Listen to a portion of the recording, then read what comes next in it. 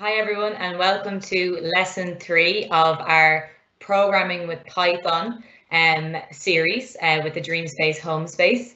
Um, so you're very, very welcome to today's episode. We're going to continue on what we've learned in the last two weeks today. Um, joined again today by Damien. And um, in the background, as always, we have the team as well that are there to answer any questions um, that you might have on the Q&A panel. And um, so as you go through today, remember you can ask questions. And um, we always say this, but we're going to keep saying it. Remember, you can also pause the webinar at any point so that if you're kind of trying to catch up or if you want to check something in your code yourself, you can pause us, go off and do that and then come back because we are aware that we introduce new things every um, day and every episode. So it can be hard to kind of keep up live. You might need to pause every now and then. Okay, so last week we finished up after kind of covering a lot of new information by setting a home challenge.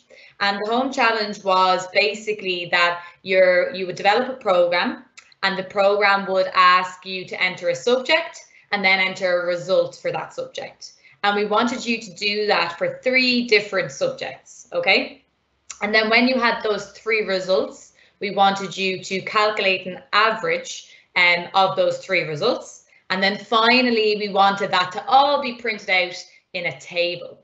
So when you first read that, you know, I know when I first read it, there was a lot going on. So I sat down this morning to do this out in Python myself. And before I did it, I quickly just wanted to jot down what I was doing. And we talked about this last week that we should be able to map out our program. So what I have here is the idea that, okay, I need a user to enter a subject and then enter the result for that subject. And I'm going to do that three times. Now, that is technically going to be the same um, kind of code. Okay, it's not, it's, it is going to be slightly different, right, with our variables. But if we were clever about this later on in the weeks, and um, we are going to introduce loops, aren't we, Damien? Yeah, that's the hope. Um, yeah. So in that instance, what I do today actually might seem quite long-winded if you're familiar with loops. Um, but when we kind of learn about loops, then we can come back and we can iterate over these programs and make them more condensed and make them better, okay? But for today, this is what I'm going to do. I'm going to get the user to do the subject, the result, subject, the result, the subject, the result. And then remember, I'm going to then get my computer program to calculate the average using those three results divided by three. And we talked about maths operations last week, so we're going to bring that into play here. And then finally, we're going to get that printed in a table. Okay, so I'm going to hop into um, my notebooks now. So if you haven't logged in yet, you can go and log in. And I'm going to work my way through this home challenge. If you did it at home, you can be checking. You might have done things slightly differently, by the way. That's always the way. And even myself and Damien probably did this slightly differently. Um, but if you didn't do it, you can even go along with me just to again refresh the memory over all the different things that we're gonna we wanted you to touch on with this home challenge. Okay, so I'm gonna hop out and I'm gonna go into my browser and I'm going to go into my notebook here. So just make sure we can see this. I might zoom in slightly. There we go. Okay, so I've used my, my hash symbol here just to kind of, again, write out the steps of what I want to do. So the first thing I want to do is the user needs to enter a subject and a corresponding result. Okay, so the first thing I'm going to do is I'm going to go back to my print statements and I'm going to print in the question. So please enter your first subject. Okay, so that's the first thing that the user is going to do. Uh, or sorry, first thing the user is going to see is my print statement. And then they're going to have to remember, give me this answer. So that is an input, okay? And I'm going to call, I'm going to store that input in a variable, and I'm going to call that variable subject one. And I'm going to use my camel case we talked about last week. So subject one equals. Now, Damien, a subject is going to be, we, last week we talked about data types, didn't we? So yeah, we subject is going type. to be a, a, certain type of data. Which data type are we looking at here? Uh, so it'll be a word, so it'll be a string. A string, yeah. So guys, remember, we're not just saying subject one equals input. We want to maybe just call out the type of data the user is going to put in here. So I'm going to use my string, or str, okay? And then I'm going to do my bracket, open bracket, and then I'm going to do my input. Okay, so that should work. Now, just to double check, I'm going to run this just to test it. Okay, please enter your first subject. Perfect. And I'm going to say English. And it's working. Okay, happy. Now, that's the first part of my thing. The next thing, remember, Was it for it to uh, get the result? Okay, so what I'm going to do is when the user enters English or this first subject, I'm going to print and say, thank you. Please enter the result for this subject. Okay, and now again, we're going to need an input from the user. Okay, so I'm going to call this result one. All right. Um, so Damien, last week we talked about obviously a result is going to be numbers, and we talked about two types of data that can, uh, two data types, I suppose, for numbers. We had our integers and our floats. Which one do you think in this instance is going to be best? So I think an integer will be fine here. Like okay. if it's a result, it'll probably be a percentage, and usually percentages are going to be whole numbers. Yeah. Uh, so, so a teacher might calculate it with you know, with floats, they might have decimal places, but typically when a student receives the result, it's going to be the yeah, whole number. They've rounded it? it up or down. Yeah, yeah. so it'll be the whole number. Okay, so what we're going to do is we're going to do our integer, okay? And again, remember this is going to be an input from the user, okay? So we have our int and input. So let's just check that this works.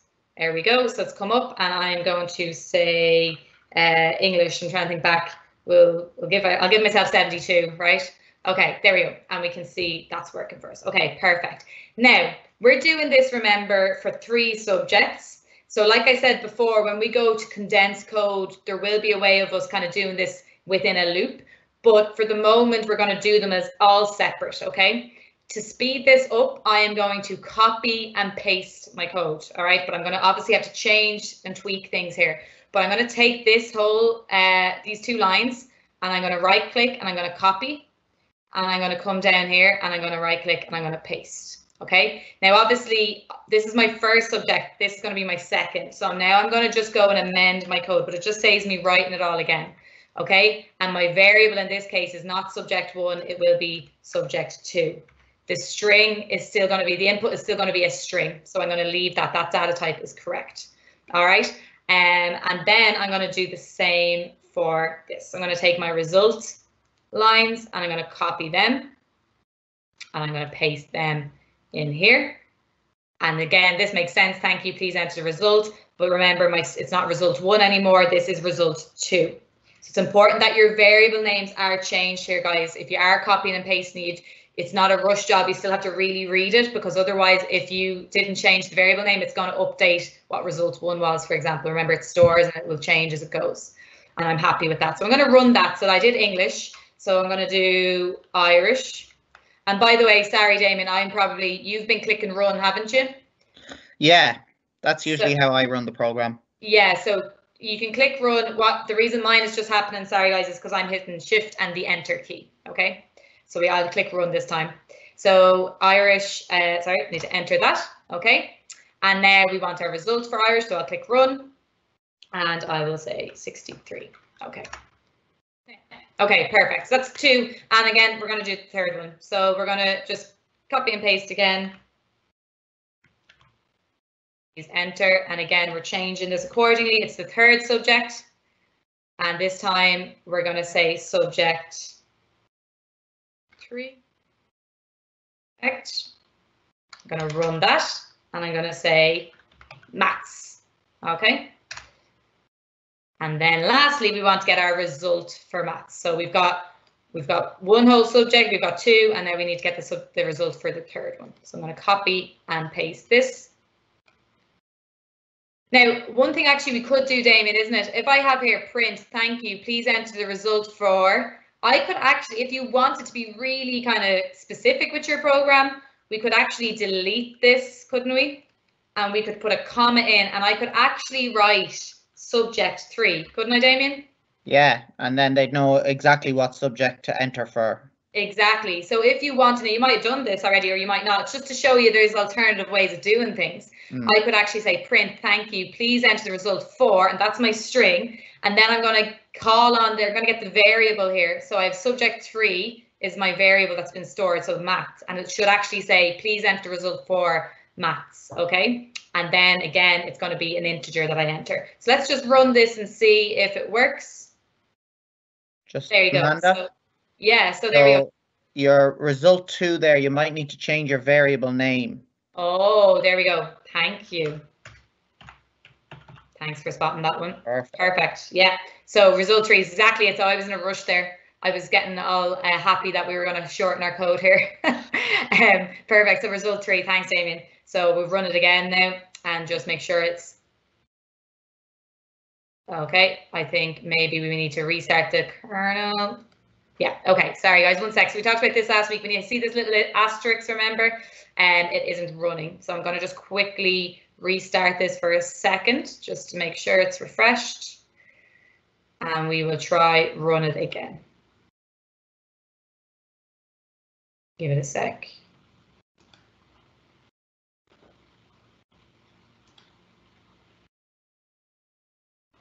Hmm. Saying kernel ready. We'll try that again. Oh. I have a bug.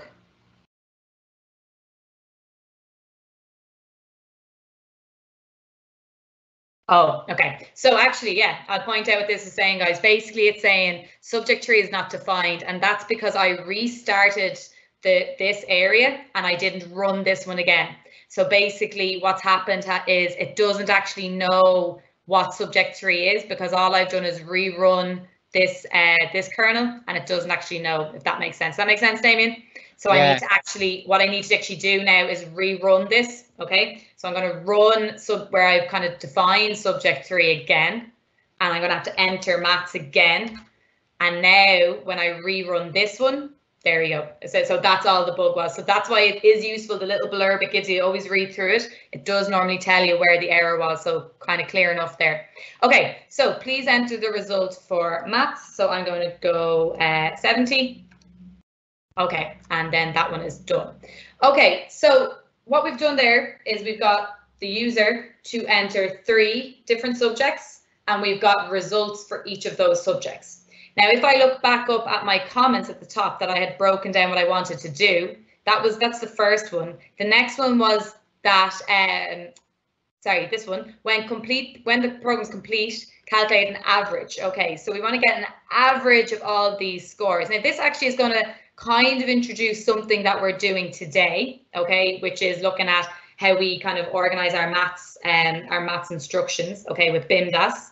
Um, but I'm going to obviously have to create a variable to do this first of all. So I want to get an average. So I'm going to say average, uh, and I'm going to say average result equals. Now, we want again to calculate an integer of this. Am I right, Damien? Yeah. Yeah. Well, it could be a float, but I think the the computer will figure that out itself as long as you're not inputting it yourself. Yeah. Okay. So where we could we could actually call out the data type here, or we we could leave it because it's already been done with our initial our previous instructions. Am I right? Yeah. Yeah. Okay. So what I might do is I'll will I make it clear and say int anyway? Uh, you could. Uh, the only thing is, if you're getting the average and you divide by three, you could end up with a decimal in it, and it could give you an error. Yeah. Okay. So we'll go. We'll call out float. Yeah.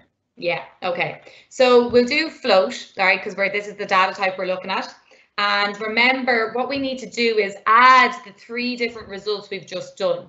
Okay, so I'm going to open up a bracket here. Now, this is important because basically we want to add the three figures together and then divide by three. And if we think about the BIMDAS rules that you would use in maths, for example, it's important that the addition is done first before that division. All right, Damien, you're a maths teacher, so you'll be kind of going on, you would talk about this a lot, obviously. So it's important that we put these together. So I'm going to say result one. So remember what I called my results all the way up here. I'm conscious that I might need to rerun these actually, but we'll see. Um, okay, so result one plus, and we're bringing back in our operations we did, result two plus result three. Okay, so that's the first thing my program's going to do. And when that's done, when it's added those together, we are going to divide by three. And we talked about last week, the symbol for division was our forward slash. So we're going to do forward slash and three. Okay. When that's done, then I want to actually just print it out just to see it's working. And it, we might get an error here, like I said, because we didn't rerun the other the other bits of code above when I restarted there. So print average results. Yeah, okay, that's fine. So I'm going to quickly have to just redo these guys. Uh, just rerun these so the program knows exactly. So we had English. I think I gave myself 72, doesn't mean that anyway. Enter. We had Irish. 63. And then we had maths. Now, we already did rerun this, but we'll rerun it anyway, just to be very, very clear. I can't remember what I gave myself in maths, Damien. I think it was. I can't remember either, but you would have got pretty high, Amanda. Thanks. Okay, 65, I say. Okay, there we go. So, and now I've ran this one, average result. So it's given me a float. So here's my decimal place that we talked about, Damien, because like you said, when it divides, it's going to be in there. Okay, so we've printed. Now, the last step we had was when we had all that information gathered, we had, we could see clearly a subjective result and we had that three times. We get our average. We wanted this printed in like a neat table. Now, this is probably the part that would have taken the longest. I know this morning when I sat down, I got through all that quickly and I got to the table part and it took me a little while to iterate and replace things. So instead of doing it all now with you, because it does take a bit of time, I'm going to show you how that looks, okay? So you can see this is, I was just doing this this morning, and then we have all this. So here is what we did for our table. Now I'll zoom in a little bit just to make sure it's clear. So what we're doing is print, and we're just drawing out using our hyphens and our lines, okay? We're just kind of making sure that's a nice clear table. Once I had this done once, by the way, what can we do? We can easily just copy and paste it and put it in underneath each area then saves us having to do it and make sure it's always the same.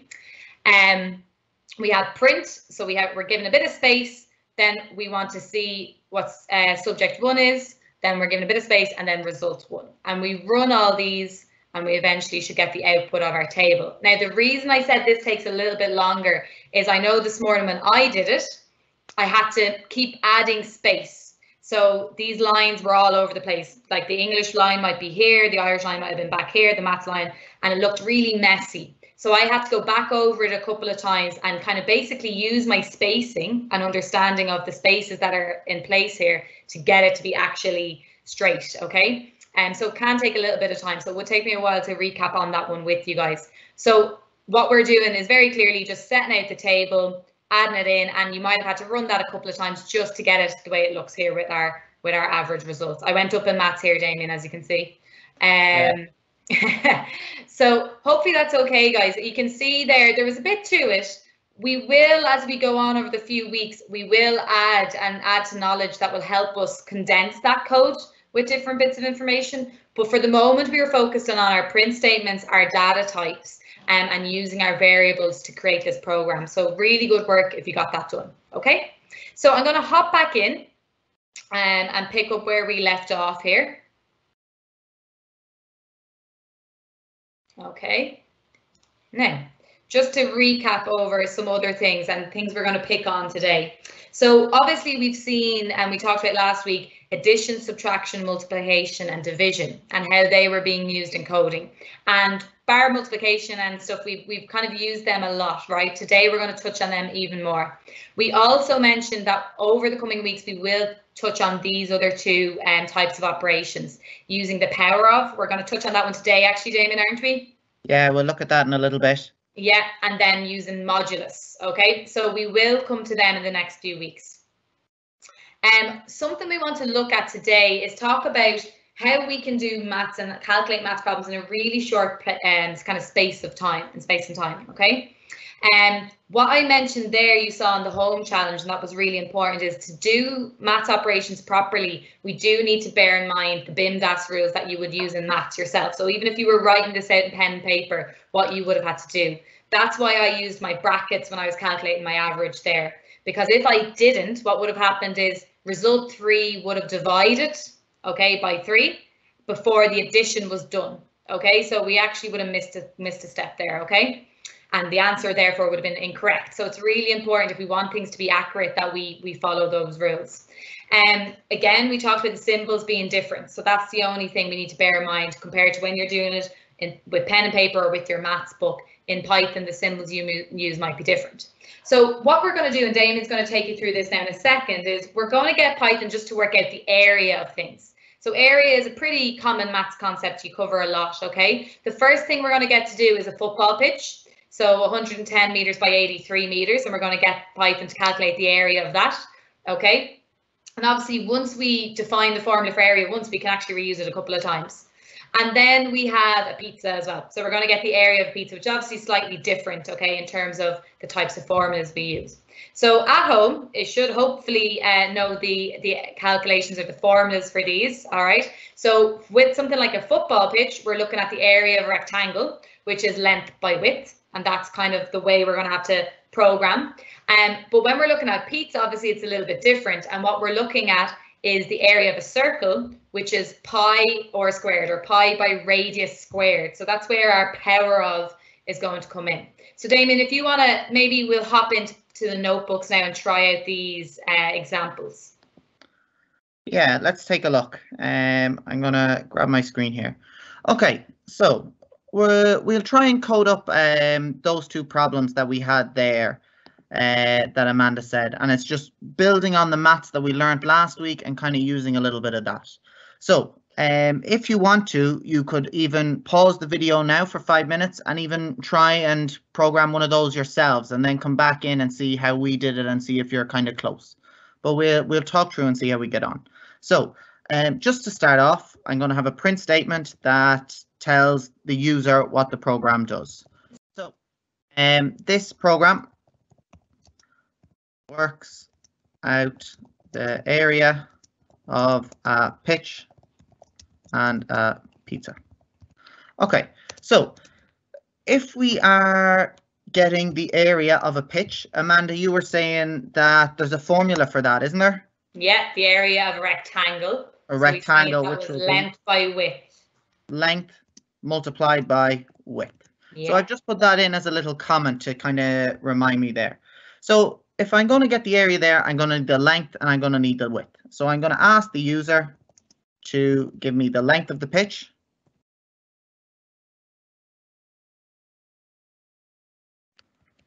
And when I ask the user, I need to be able to get an input. So we'll have a variable called length equals. Uh, now, the number that was there, Amanda, in the question, can you remember, was it an integer or was it a decimal number? It was an integer. It was a whole number. Right. So we'll just use an integer there. So int input. Okay. And then I'll also need the user to put in the width.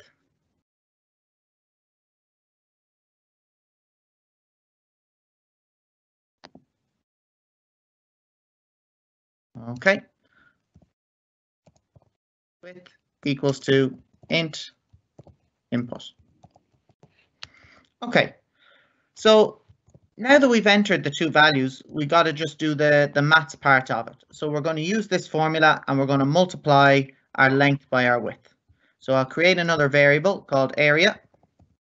And I'm going to call it area pitch. And I know that it's different to the area of the pizza when I do that a little bit later on. And that's going to be length multiplied by the symbol for multiply, Amanda, can you remember? Yeah, so we use a little asterisk or a star, Damien. Perfect. Um, length by width. And then I'm going to print out my answer. So print the area of the pitch is, and then we have our area pitch. Okay, so let's try run this and see if we it runs okay. So please enter the length. The length was 110, I think. And yeah. then the width was 83. 83. Yeah. Great. So I enter in those two values and it tells me that the area of the pitch is one or 9130 meters squared. And we could maybe put in meters squared at the end to have units if we wanted to. Um, and I'm going to have to take the computer's word for that because I can't multiply those two numbers in my head myself. Um, so that's for the pitch. Now, for the pizza, it's a little bit different. All right, although we're going to kind of use a lot of this again. So I'm going to maybe just copy this and bring it down to my next piece of code. And we might just edit this one a little bit because a lot of the pieces are going to be the same. So for uh, printing here at the start, this is going to be for the area of a pizza. Okay, and my formula for the area of a pizza is going to be pi multiplied by the radius squared. So you might have looked at this formula in school before. Um, hopefully you will have seen it before. But I don't need a length and a width this time. The only thing I need for the pizza is the radius. So I'm going to change this sentence here to say radius. So please enter the radius of the pizza. We'll make it a bit more clear. And then I'm going to change this variable here to be radius. Now, this part here, I don't actually need, so I can get rid of this part because I don't need to enter any other variables. And the only one we need is the radius. And then down here, area of, we'll change this variable name, pizza equals 2. so here we've got to try and make up this formula now. So this is a little bit more difficult. Um, Amanda, I might ask you, this pi or the symbol pi, which is like a, it's a Greek letter. Do you yeah. know what number that is? Yeah, so I think normally it's three, well, it goes on, doesn't it? But 3.14 is normally where we, we round it up to it in a float. Yeah, so we use 3.14 a lot, but actually it keeps going on and on and on, and we'll kind of look at that in a second. And that's going, our 3.14 is going to be multiplied by the radius, but I need to square the radius. So we looked at in our maths symbols that if you put two asterisks, you can get to the power of. So this will be the radius to the power of 2, or the radius squared and that should give us the area of the pizza. So then here, the area of, a, of the, we'll change this to pizza, is, and then we'll change this variable here to area pizza. Oh, pizza. Okay, so we'll run this and see how we get on. So it's asking me for the, to please enter the radius of the pizza. Um, can you remember, man, Amanda, what the radius was, or did it even give us the so, radius? It didn't actually give us the radius. It gave us that the diameter of the pizza was 18 inches. So we're going to have to just then use our knowledge of, of I suppose, circles to get our radius, aren't we? Yeah. So. So it's um, going to be nine, isn't it? Yeah. So the radius will be half of the diameter. So I'll put in nine here and press enter and I'm getting an error. So I must have made a mistake somewhere here. Okay, so let me see here. It's telling me that there's a mistake here in this line. So, and it's telling me that the name radius is not defined. So I must have made a spelling mistake or something here. So if you can see here, guys, I've said that the radius, RAD, IUS, is equal to whatever number I put in here. But then when I put it into my formula, I've mixed up my two letters here. So we might just change those. And that'll happen a lot. All right. And it's good to be able to spot those errors and then be able to kind of fix them from the error that they give you. So we'll try and run that again. So I'll put in 9 again for my radius. And it's giving me the area of the pizza is 254.34. All right. And that is exactly what we're looking for. So there's just a couple more examples of how we are using maths in our coding and, and how it might become useful. Um, and we can see there that we're using the, the power of symbol in one of our formulas today. All right, so we'll keep pushing on and we'll see how we get on. I'm going to swap back to our PowerPoint now. Uh, let's see. So we've looked at our pitch and we've looked at our pizza. Now, we're going to talk a little bit about libraries, all right? And libraries are really helpful because they are code that's already been written by other people and it kind of gives you a shortcut to do some stuff. Okay, so there's loads and loads of libraries that we can use and it's just kind of have an idea of where they are or how we use them that, that makes them very useful. Um, so inside a library, there's things called functions, okay? And we're going to look at functions a little bit later on in this lesson. But when we use a function, it's a piece of code that's been written earlier on that makes things much easier to use, okay? Um, and when we use a library, we have to import it into our code. Because Python is such a big language, the computer can't know all of it all of the time. So when we tell our Python to import something, it allows us to kind of give the heads up that we're going to need something from this part of code. Um, and there's loads and loads of libraries. And as you go through your coding, if you keep up coding past this video and maybe into senior cycle in school or even into college, you'll use many libraries just to make your job that bit easier. Um, Amanda, we might look at two libraries in this lesson. Um, yeah, I think the because we're on it, I suppose the maths library. There is a, a library for maths, isn't there? And that would make sense because we're doing a lot of maths stuff right now, actually. Um, so that could be a good one to start with. And then yeah, the random library I see you have there. So two mm. really useful libraries actually for us. Yeah. So there there's libraries for nearly everything, guys. All right, and it's just to make the job easier. But the two that we'll look at today, just to show how they're used, and once you kind of have an idea of how to use one library, you can use many, many libraries. So the math library, if you see here, can give us shortcuts to do some maths things like find the LCM or the HCF. So you might or er, know have heard of what those kind of acronyms stands for. So LCM is for lowest common multiple or HCF is for highest common factor. And you can see down here in the code that it can be very easy to find out those things with these shortcuts. Uh, you don't have to write lines and lines of code. You can just use the library, the import math library, and then run it from there. All right. And then there's another library called the random library that lets you just get random numbers um, very easily. So you don't need to write much code. You just use the library and the code that's already been written in it. So we might jump back to our notebooks and we will just do two quick little programs to show you how we can use our libraries. Okay, so we'll jump back here.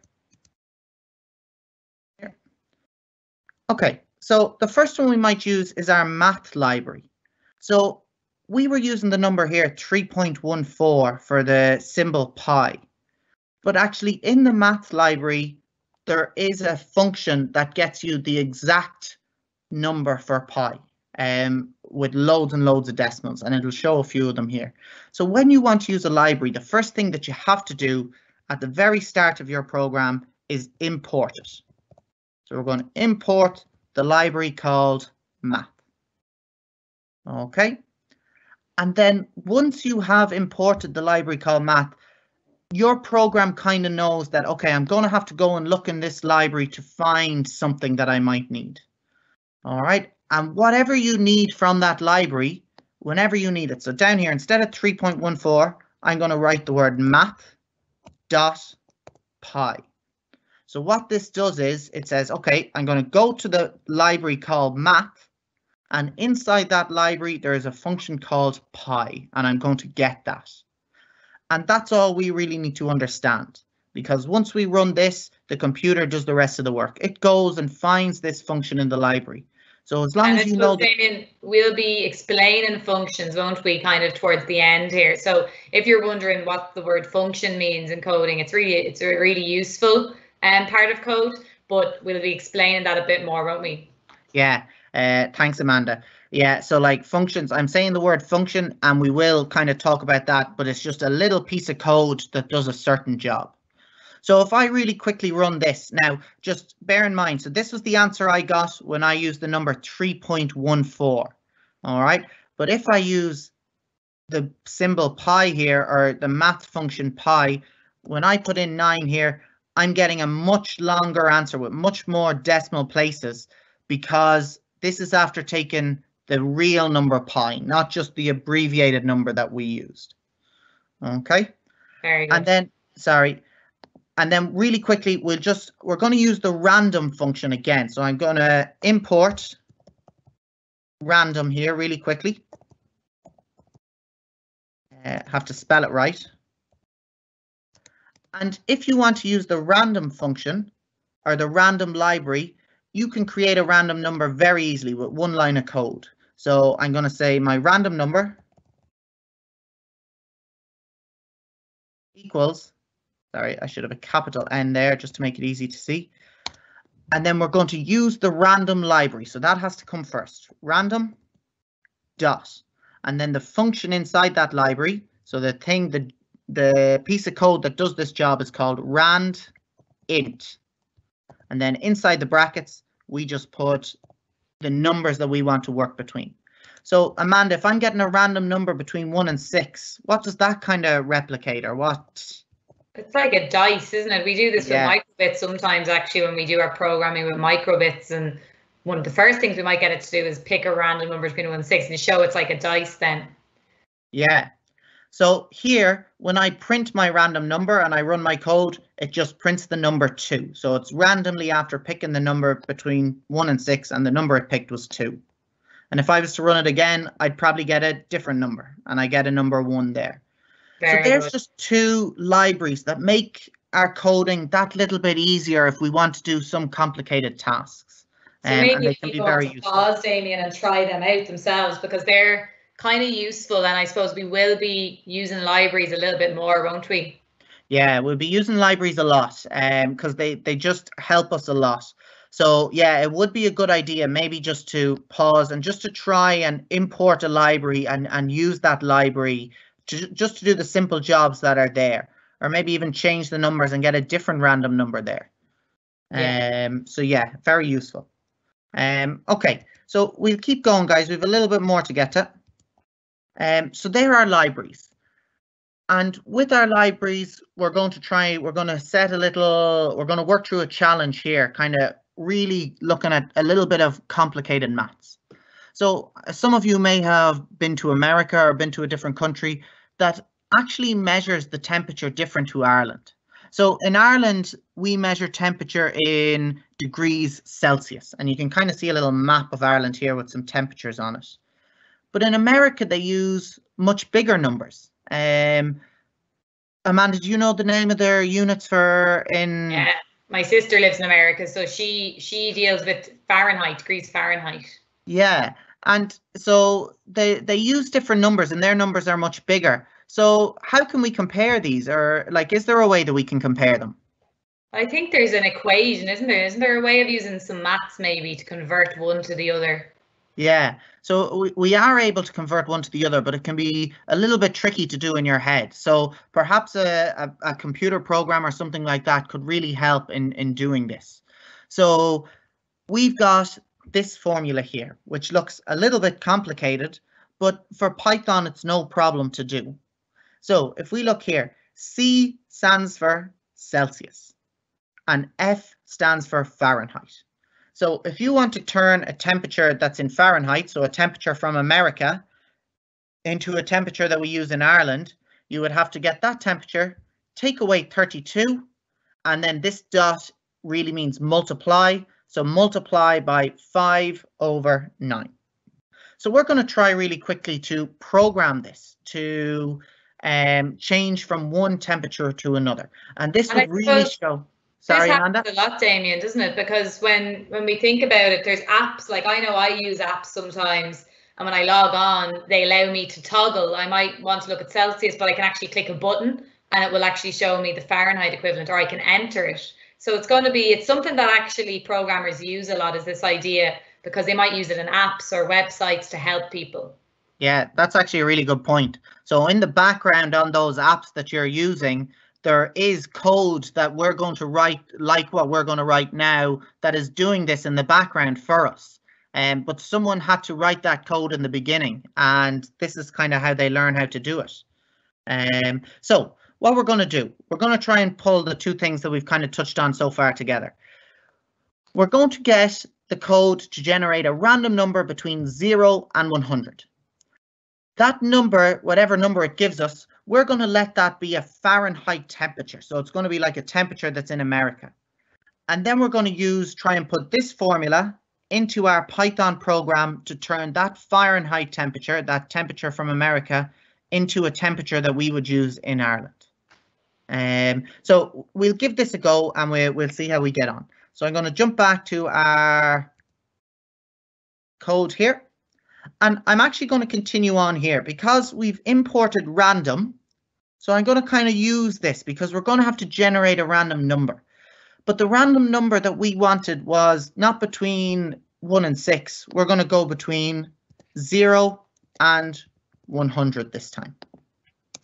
Okay, then I'm going to get rid of this line and we'll, we'll keep going from here.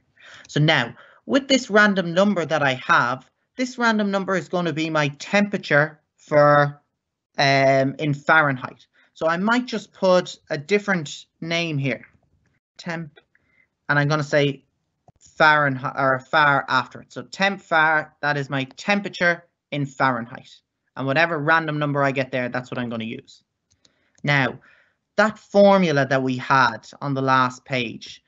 So it said that temp temperature in Celsius is equal to. Now we have to think of BIMDAS. We're going to have to do the brackets first. So we'll put in our brackets. Temp far minus 32. So that's going into our brackets first. And then what we might do, I might just jump back here to see the formula. So that's going to be our temperature in Fahrenheit minus 32. And then we're going to have to multiply that by 5 over 9. Or 5 over 9, that really means 5 divided by 9. So what I might do, I might put this fraction into a bracket in my code and then multiply them together. So we'll, yeah. we'll try and do that. So it's going to be multiplied by bracket, and then I'm going to have 5 slash 9 in my bracket, and it'll multiply those together. And then finally, we might just print out our answer. So the temperature in Celsius is, and then we'll just put in our variable temp so, Damien, uh, I think in your variable name for temp var, I think you just yeah. need to swap your H and an A. I oh, think. yes. Thank you. No problem. F A H R. Thank you. Um, and what I might do, yeah, so we'll, we'll try and just, I might just print out here just so I can see that number. So temp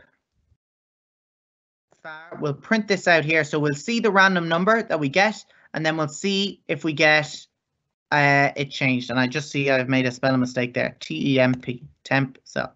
Okay, we'll just try and run this and see. So the random number that I get for my Fahrenheit temperature is 48.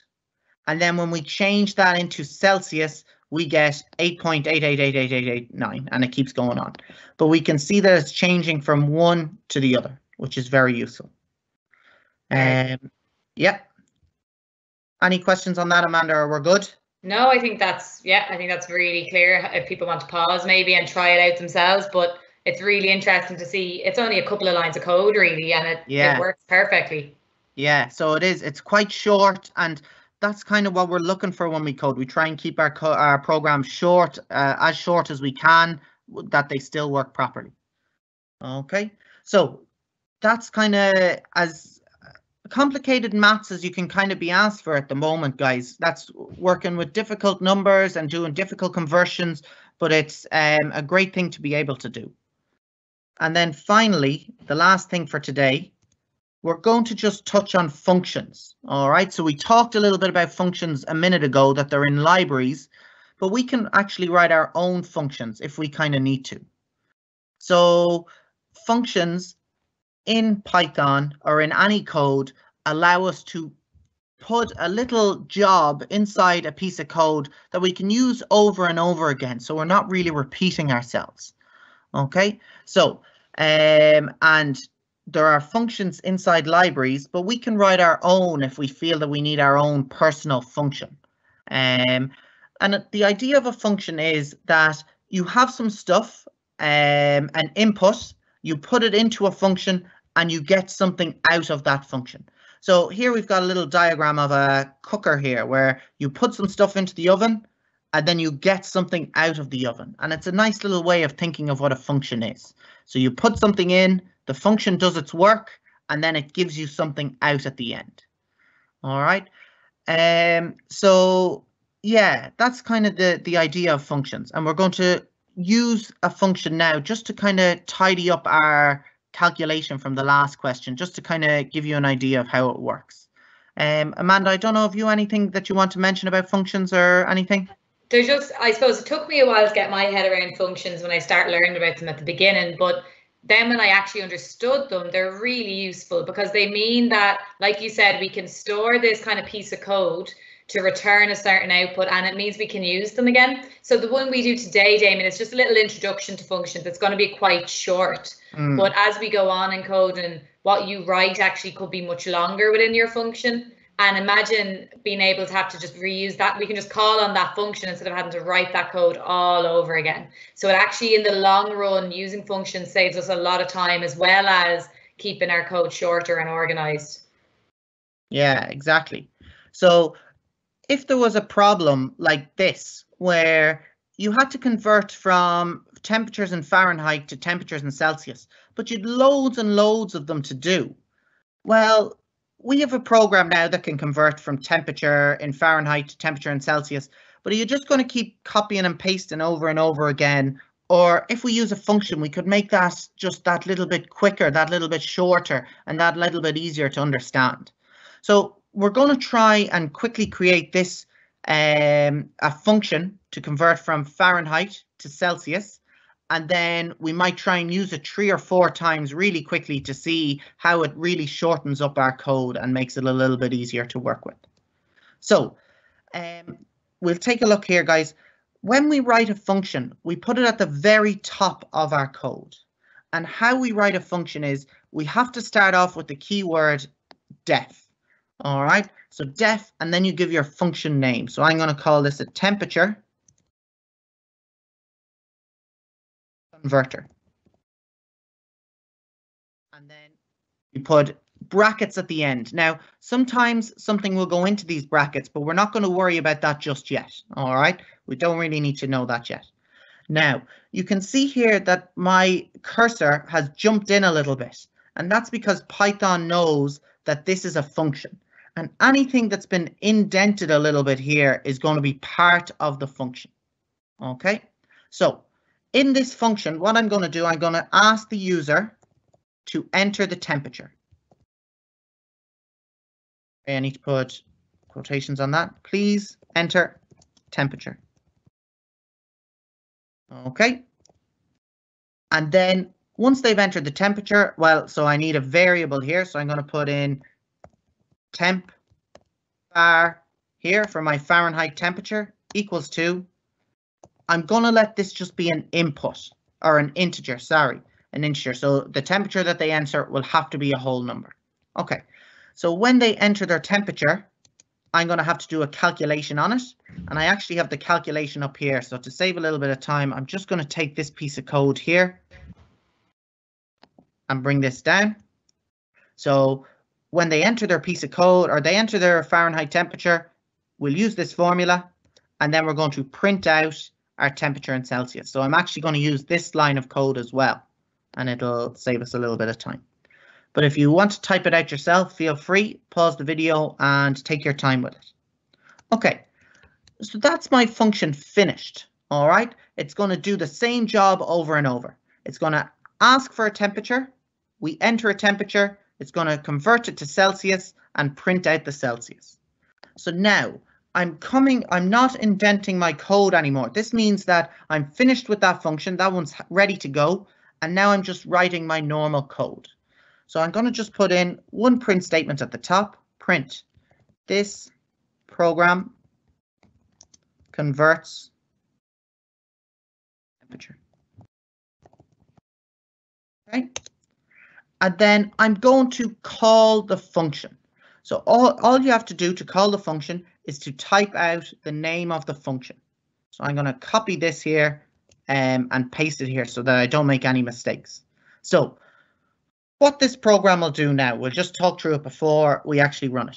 The very first line of code that it will do is this print one here. It skips the function until we actually call the function or type in the name of the function.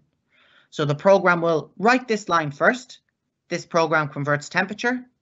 Then it will do this line and see, okay, I need to go and get this function from up here. So it goes back to the top of my code and says, right, I'm going to do all of this stuff now next. So if we run this here, I get the first line I get is this program converts temperature. Then it asks me to please enter a temperature. So when it gets to here in the code, it jumps up in here and writes out this line, please enter temperature. So I can enter my temperature, let's say it's 70 degrees in Fahrenheit, press enter, and it converts it to Celsius. So that's how our function works. Now, Amanda, if we wanted to do this, get a couple of temperatures converted, what would I need to do here? Could you help me out to get it to repeat? Yeah, so we could we could call on the function again, Damien, couldn't we? So we wouldn't have to we wouldn't have to write all that out again, which is so useful. Yeah. Um, like those lines of code you just did earlier above, if we had to do that for five different numbers, we we potentially have to write a lot of code. Whereas Yeah. now we can just call on it. Yeah. Exactly right. So here I'm using the function five times and that's all I need to write because when the program goes and runs here, it'll write out this line first. It will see this, so it'll go back up to the function and do all of this code in the function. And once it's finished that, it'll go to the next bit here and go back up to the function and it'll keep repeating itself until it gets all the way down here. So this is a very quick and easy way to do the same job four or five times. And that's why functions are really helpful. If you've got a specific job that you want to do, a function is a really good way of doing it because you can repeat it over and over again. Brilliant. Okay. Great. So we recap now, Damien. I think maybe that's a that's a lot of people need to pause maybe while you're still on screen there. Yeah, Um, that was quite a bit now. Yeah, it was a lot.